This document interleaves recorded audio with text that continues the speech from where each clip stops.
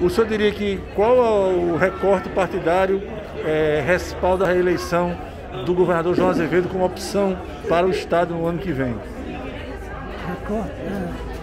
Eu acho que, acho não, tenho consciência de que o João Azevedo hoje ele é uma candidatura forte à reeleição.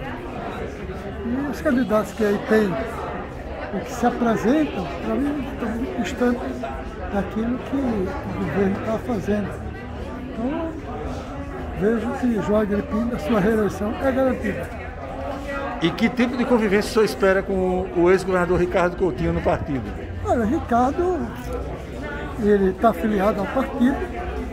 Agora o partido tem regras, o Partido dos Trabalhadores né? tem regras e cada um tem que se amoldar às regras do partido.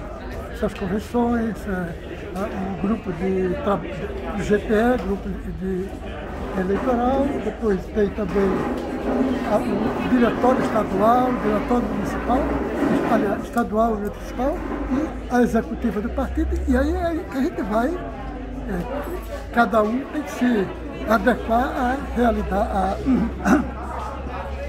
às normas do partido. Acho que isso é o, o essencial. Ninguém é candidato de si mesmo, o candidato é do partido.